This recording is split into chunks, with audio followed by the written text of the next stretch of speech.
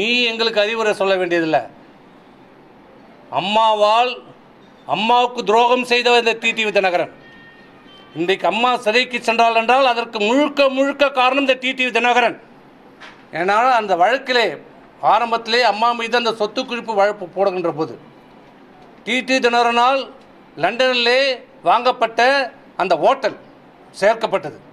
அந்த வழக்கு அப்படியே இருந்திருந்தால் இன்றைய வரைக்கும் அந்த விசாரணை முடிந்திருக்காது.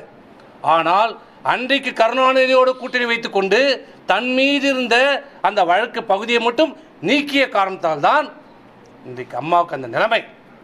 அப்போ அதை தெரிந்த பிறகுதான் அம்மா அவரை உன்னை அடிக்காத குறையாக வீட்டை விட்டு விரட்டினார்கள். இனி இந்த போயஸ் கார்டன் பக்கத்திலே உன்னை பார்த்தால் நீ காலம் முழுவதும் சிறையில் இருக்க வேண்டிய நிலைமை.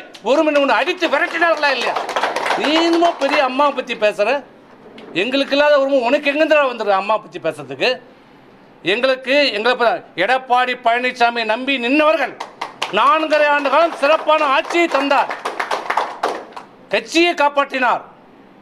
காப்பாற்றினார். இன்றைக்கும் கட்சியை ஐந்து பத்து ஆண்டு காலம் ஆட்சிக்கு பிறகும் அம்மாவை போன்ற ஒரு ஆளுமை மிக்க தலைவர் இல்லாத போதும் இந்த பத்தாண்டு ஆட்சிக்கு பிறகும் எழுபத்தைந்து சட்டமன்ற உறுப்பினரை பெற்று சாதனை படைத்திருக்காரு எடப்பாடி பழனிசாமி.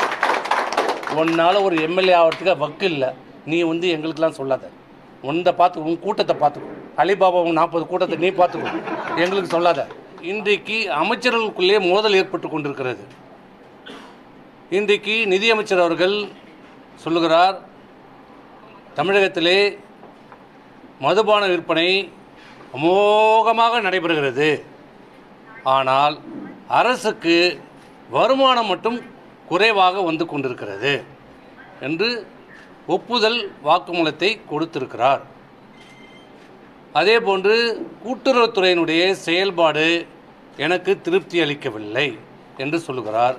மறுநாள் கூட்டுறவுத்துறை அமைச்சர் ரேஷன் கடையை பற்றியே தெரியாதவர்களுடைய சர்டிஃபிகேட் எனக்கு தேவையில்லை என்று சொல்லுகிறார். இப்படி முன்னுக்கு முரணாக வெளிப்படையாக கருத்து வேறுபாடுகள் அமைச்சர்களுள் ஏற்பட்டிருக்கிறது. இதை கட்டுக்குள் வைத்திருக்கிற திறமை இல்லாத ஒரு முதலமைச்சர் இன்றைக்கு இந்த நாட்டை ஆண்டு கொண்டிருக்கிறார்.